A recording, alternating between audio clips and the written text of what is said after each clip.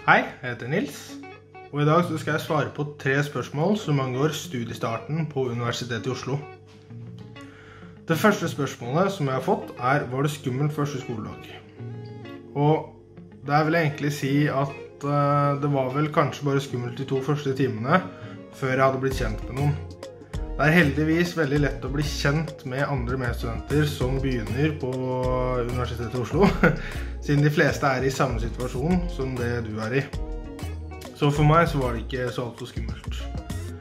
Og andre spørsmålet er om jeg var nervøs, og det er vel egentlig det samme svaret der også. Eh, det var vel de to første timene, men ellers, eh, etter at man begynner å bli kjent med folk, så går den nervøsiteten ganske fort forbi. I hvert fall for meg personlig.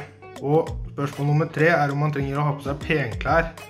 Og det viktigste er vel egentlig at du går med noen klær som du føler deg komfortabel med.